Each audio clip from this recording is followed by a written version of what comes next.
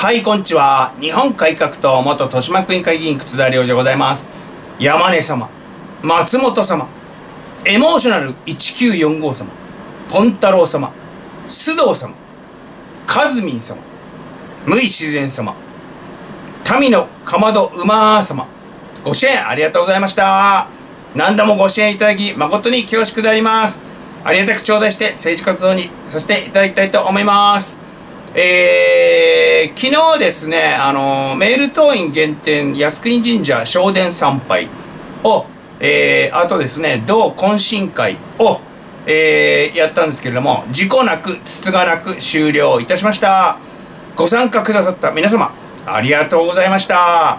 えー、お二人ですね、えー、懇親会の方にも行くことになってたんですけれども、えー、なんか疲れちゃっていけねえわっていうことで、お金だけいただいちゃった人がいて、えー、律儀で、えー、申し訳ありません。えー、助かりました。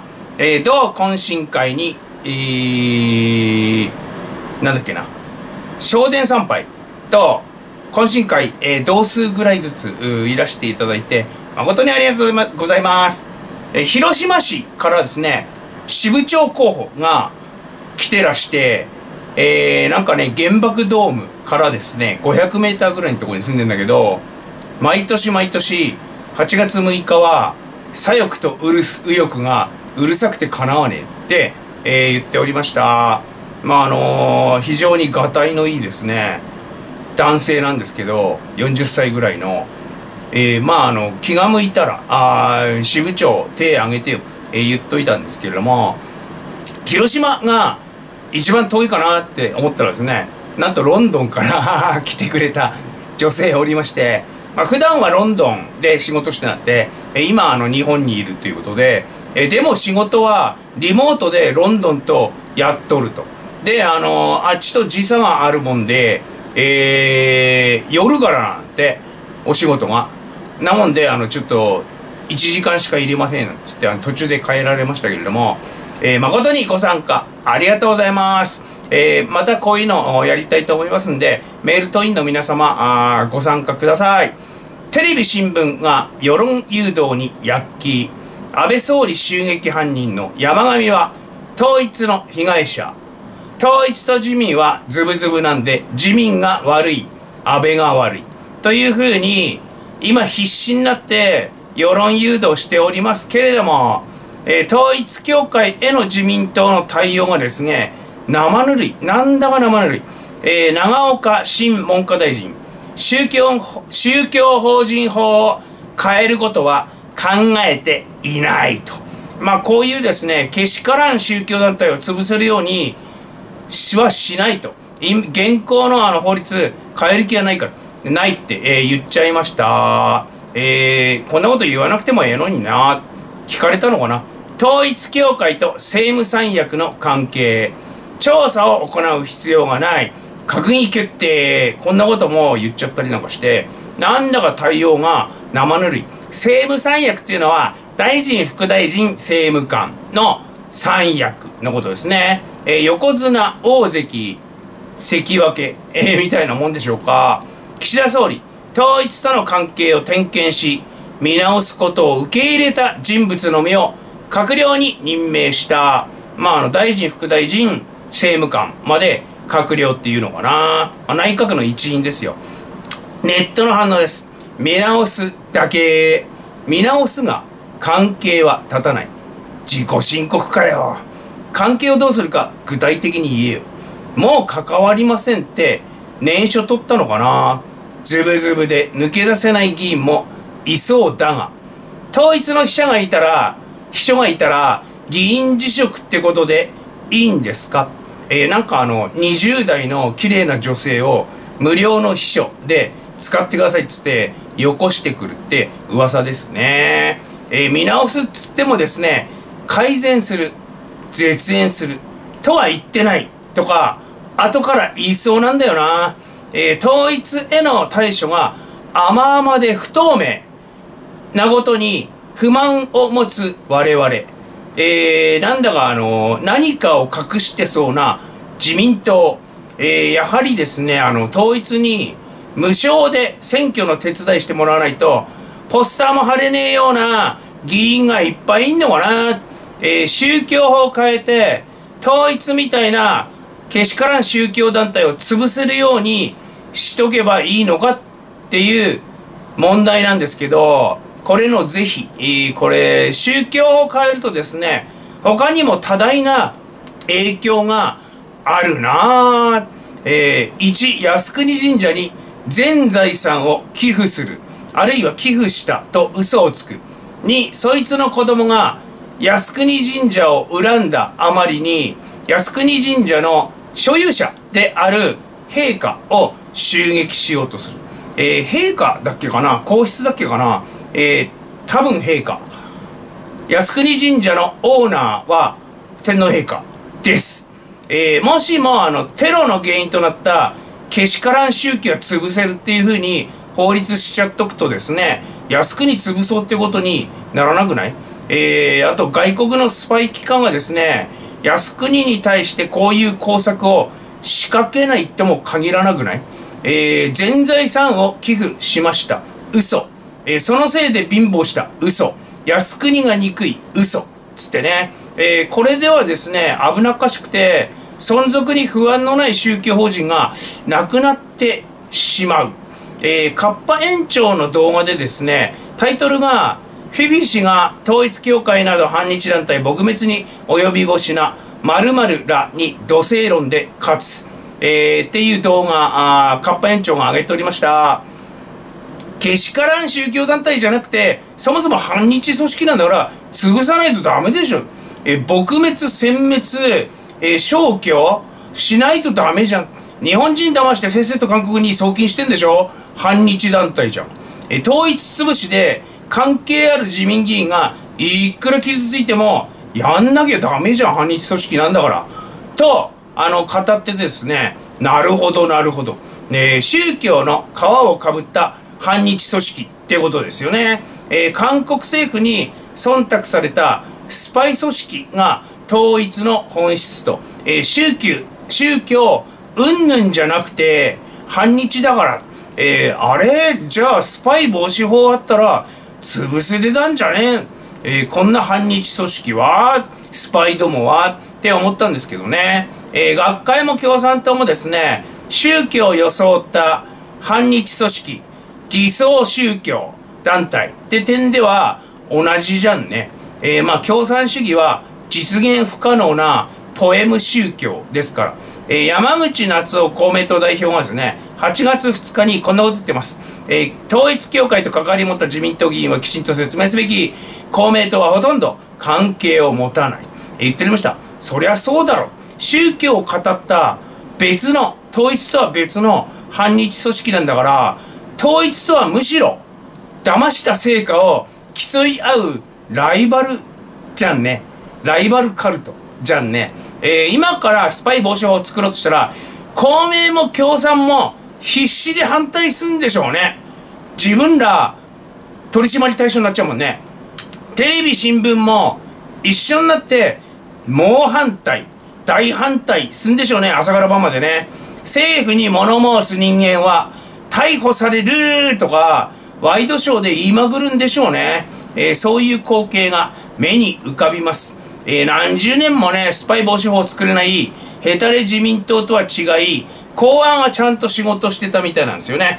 えー、2005年と2006年の、えー、年に1回出してるですね、内外情勢の解雇と展望で、特異集団、えー、旧統一教会は特異集団である、えー、我が国で在日韓国朝鮮人の救護を目的とする新組織を設立し在日関係者を取り込んで勢力拡大を図る動きを見せた集団である。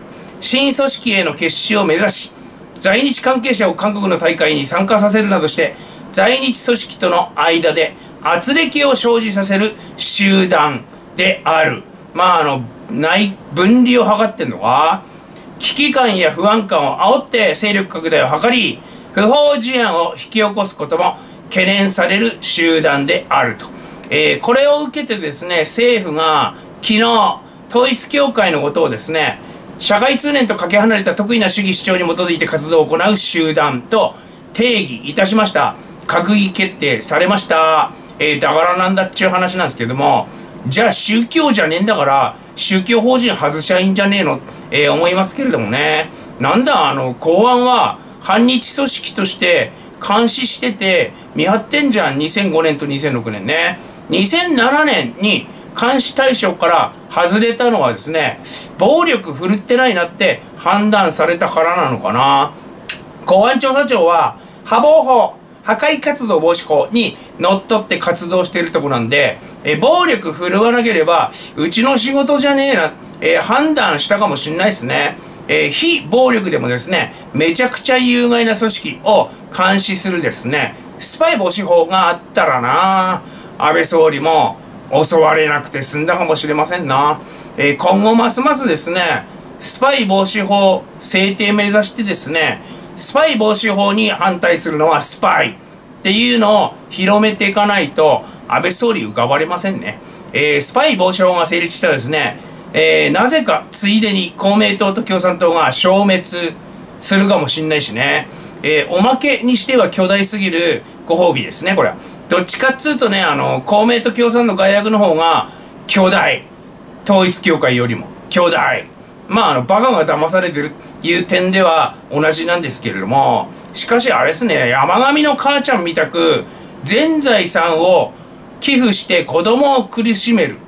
ってこともですね含めて思想信条の自由宗教の自由なんですよね。それも含まれる。全財産を寄付することも思想の自由だ。心臓心情の自由だ。子供を苦しめる貧乏をこかして、えー、もう思想信条の自由だって言われるとまあ含まれるから厄介、えー、わしが死んだら全財産を靖国に寄付する、えー、これは立派って言われて山上の母ちゃんはダメっていうのは線引きがちょっと難しいですよね。えー、靖国の神は統一のサタンと違って信者に金よこせって言いませんけどね。こっちが勝手に、えー、まあ、正殿参拝だと、個人参拝だと2000円からですか、えー、やりたくて、あの、やってることですしね。お賽銭。えー、神は金を無心しない。金を要求してくる神は、インチキです。えー、テレビ新聞は統一とズブズブだったが、安倍が悪い、自民が悪い、山上はむしろ被害者。で、キャンペーンやってるみたいですけど、一番悪いのはもちろん山上ですよね。疑う余地もなく。えー、福島県獣医師会、いわき支部での会議にて、もう10年以上前になりますけれどもね、えー、議題、高齢や、高齢や持病があり、狂犬病ワクチン接種猶予証明書を出した犬が人を噛んだら、我々の責任ってどうなんの？いうことが話し合われました。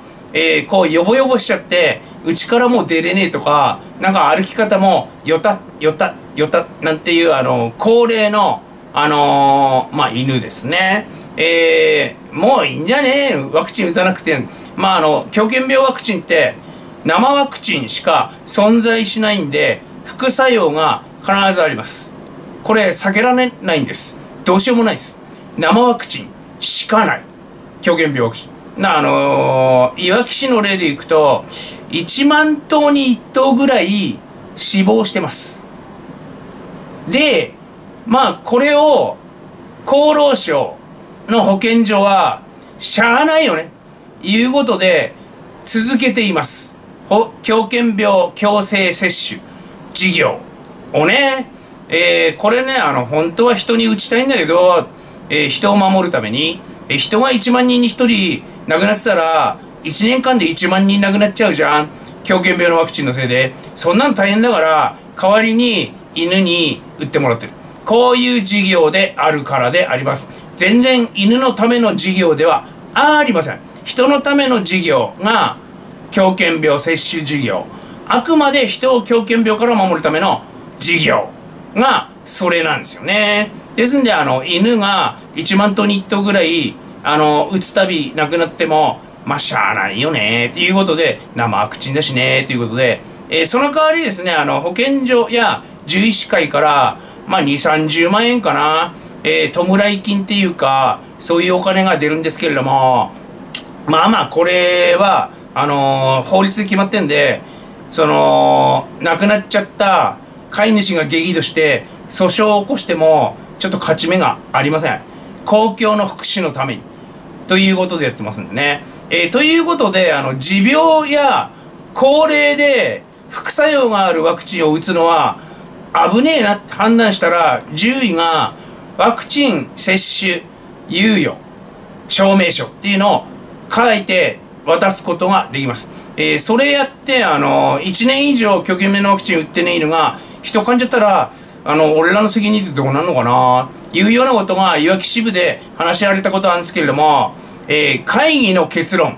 そんなの神田犬が悪いんだわ。しつけできてね飼い主が悪いんだわ。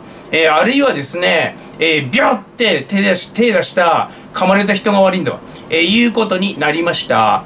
付帯決議で、狂犬病ワクチンは猶予されていても人噛まない犬がほとんどだしなんせ持病があって高齢高齢や持病があってあの健康なんじゃねえんだから噛まない犬がほとんどだし、えー、そこまで面倒見きれねえよ。というのがいわき支部の出した結論であります。これあの山上と一緒でバカ親がね宗教にはまってひどい目やった子供がテロリストになるのは当然。ではないでしょ。なんでなの？ならない人がほとんどでしょ。山上が異常なんであって山上が一番悪いのは疑いようがないでしょ。えー、まああのテレビ新聞は山上は被害者。安倍さんは襲われて当然って死体みたいですけどね。えー、皆様もですねあのテレビ新聞に騙されないで事の本質を見抜いてください。そんなの神田犬が悪いんだわ。っていうのが獣医師会の結論です。いわき市。えー、テレビは捨ててください。百害あって一理なしです。えー、2チャンネルニュース速報とつべとアマプラと D アニメがあれば全然見切れません。全く見切れません。これ全部見切るのは人間には不可能です。と断言いたします。統一以上に凶悪な反日組織、日本共産党の参院選パンフレットがひどかった。えー、産経記者のアビルさんが報告していました。こんなこと書いてありました。共産主義とは誰もが自由な時間をたっぷり持って自分の能力を自由に全面的に発展させることができるその力で社会が自然と調和しながらさらに豊かになるなんて書いてあって何言ってんだかさっぱりわかんないネットの反応ですあはははははカルトの上等手段ファンタジーオツ最初はそうやって近づいてくるのさ。それは共産党員の感想ですよね。じゃあなんでソ連は崩壊したの？共産党以外全部奴隷になり考えることなど許されない。共産主義国の人民に自由な時間なんかないよ。というような意見ね、えー、誰もが自由な時間をたっぷり持って、えー、そんな貴族ばっかで誰が働くんだよ。じゃあさ誰もが好き放題自由な時間。働きたい。自由な時間があったら働きたいって人間もいるじゃありませんか。そういう人の多様性は認めねえのかね。誰が働くんだみんなあのー、暇こいて自由な時間たっぷり持つ現在進行形で共産主義国の国は中国北朝鮮シンガポール。キューバラオス、えー、です。5カ国です。シンガポール意外なことにあのー、共産主義一党独裁国家。でした、えー、それの人民は時間たっぷり持ってんのか、えー、共産主義体制ではですね人民の財産どころか時間さえ共産党政府が保有してて自由どころか自分の時間すらないよ。ないよ。全然。北朝鮮。最高尊厳が考えるからお前らはなんやかんや考えなくていいっていう主体思想ですね。押し付けて考えることも許されてないっすよ。主体思想。えー、共産党員高齢者ばっかでもうリタイアしてて自由な時間はすでにたっぷり持ってんじゃねえのって。ね少なくともフルタイムサラリーマンよりは。時間持て余して暇持て余してすでに半日でもやら半日集会に参加してんじゃねえの、えー、共共産党はですねそんな嘘でもどんな嘘でもつくし嘘ためられません。革命成功させて権力を得た後に騙したな言ってくる人いたら処理すりゃいいって考えてんでどうにでもなるって考えてんで嘘をためられません。口頭無形な嘘も。これをねあの豊島区委員会で言ったら懲罰委員会にかけられたんですけど事実っしょすげえ嘘つきでしょ。共産党って。共産主義者って、えー、指摘されると都合が悪い事実が存在する時点で詐欺集団なんだよな。共産党ってな、えー、富の平等分配には流血不可避殺人不可避暴力不可避の富の集約が必要なことを絶対言わねえし。一回ねあのー、人民の生命財産家族全部全部政府が集めて所有して数えないといけない。でないと平等に分配できない。でも全部汚せって言ってくることは共産党は決して言わない。革命成功後浮かれて応援してたあなたのとこに共産党員がやってきてえー、現金資産土地建物全部汚せ。嫁も子供も労働力として提供しろって言ってくんですよ。でねああそうですかっつって差し出す人いねえから必ずあの殺人と暴力が不可避である共産革命には富の集約のためにはでないとね数えないと平等分配なんてできないでしょうよ。一回手に持ってね共産党がこれ絶対言わねえしね。共産党同様嘘をためらわないテレビ、えー、高度な電波番組としてですね有名なサンデーモーニング。若い人が憲法9条の改正に賛成それを防ぐためには教育がと放送してしまい無事炎上いたしました。ネットの反応です。マスコミの正体。子はブレインウォッシュですか。論理的に説得できず洗脳に頼る時点で間違ってんだよ。若者が会見賛成なのはむしろ教育の成果では。最初から会見イコール悪と決めつけてる発言だな。自分の考えが絶対正義という思い上がりしか感じない。多様性を認めないんだ。えー、全然ね中立公正な放送ではないですよね。BPO は何やってんだ。えー、自分と意見の違うものは洗脳しないとみたいなことをほざいてるんですけど、えー、恒例のテレ左翼、テレビ左翼、向け番組だから、こういうこと言ってれば視聴者喜ぶのかね。えー、高齢左翼による高齢左翼のための日教祖推薦番組っていうのがサンデーモーニングなんですけど、日教祖が頑張ってね洗脳教育をした結果今も継続している中にもかかわらず会見が過半数の現状は多様な意見が飛び交うネットを遮断しないと教育での洗脳なんか不可能だで。教育は子供に入ってくる情報のほんの一部に成り下がってますからね。一昔前。ネットがない頃に比べてね、えー、テレビの力を過信してるようですけれども、過信したいようですけれども、えー、まあこういうことも分かってないね。高齢左翼向け番組だから、これでいいのかな？えー、よくないな。CNN の社長だか、なんかね、あの、民主党の弁護士、お抱え弁護士だかどっちか忘れましたけれども、トランプ支持者の子供を再教育する必要があるとかほざいちゃって炎上したことがあります。えー、なんで会見がダメなのか論理的に若者を説得できないから洗脳って手段に頼ろうとしてる。えー、惨めで無能で自分はバカです説得できませんって言ってて恥ずかしいこと言ってるっていうのを自覚ないんでしょうね。この三モニの登場した女の人。